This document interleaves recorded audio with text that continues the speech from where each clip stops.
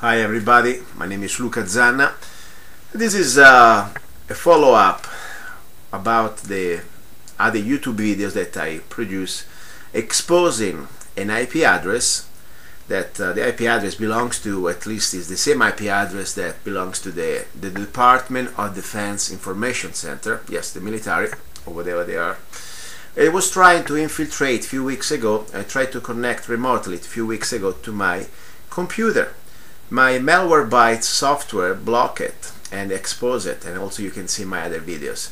The follow-up is very simple. After I wrote letter to the editors in, at, the, at the Standard uh, newspaper here in uh, Mohave County, Arizona, after I sent also this video information to the Mohave County Sheriff and to the Mohave County Attorney and also to my attorney to at least uh, warn them that uh, that's what's happening to my computer.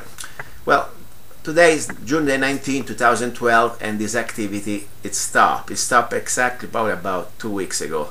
I was waiting uh, to see exactly if he was going to be back. So far so good. Two things may happen. Whoever was trying to uh, infiltrate my computer, that of course uh, at this point uh, we say that uh, allegedly could be the, the Department of Defense because that the number IP address correspond to them Maybe they got smarter. Maybe now they're doing it without that I can be catch them, or even better, my computer, my software cannot catch them, or maybe they just maybe gave up. But the point is, regardless, whoever was, and I doubted it is some hacker because I really doubt that some hacker is going to spoof the IP address of the Department of Defense. Kind of stupid and lame, but who knows? Uh, they were trying maybe to freak me out. Freak me out. What was the purpose?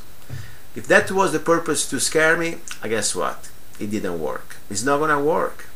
I'm sorry for you. I'm going to be more vocal than ever. I'm going to be exposing more and more whatever's happening to this country, to this world. Yes, I am very adamant to expose and fight a new world order. I believe in the United States Constitution. I believe in America. I believe in freedom. I believe in the Bill of Rights. I believe in guns. I believe in the Second Amendment. I believe in the First Amendment. I do not believe in the United Nations. I do not believe in a constitutional war. Guess what? I'm here louder than ever. So wherever you are, I'm so sorry. You're failing. Because on top, just to let you know, I believe in God. And guess what? No type of fascism is going to intimidate me. My family from Italy went through already fascism. Okay, we went through the communism.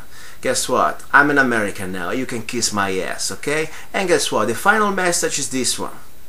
Long live to the Republic and screw the New World Order.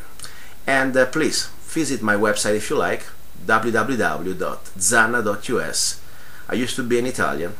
I was an Italian by birth now I'm American by choice. And for sure I'm here to stay and to stand with you my fellow Americans against all this fascism all this police state. I want to take my country back and my country is America this United States of America.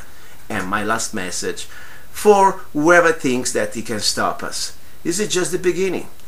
You may kill us you may torture us but our idea of freedom is never gonna die. So too bad your stupid drones, your stupid police state, never gonna stop the spirit of free humanity of the what we used to be here is still here. I know probably the GMO food and the fluoride in the water, maybe the TV reprogram a little bit a lot of uh, the masses. But guess what? There is enough DNA here still standing for freedom. And here we are, and we will stand for freedom, liberty, and peace. Thank you very much.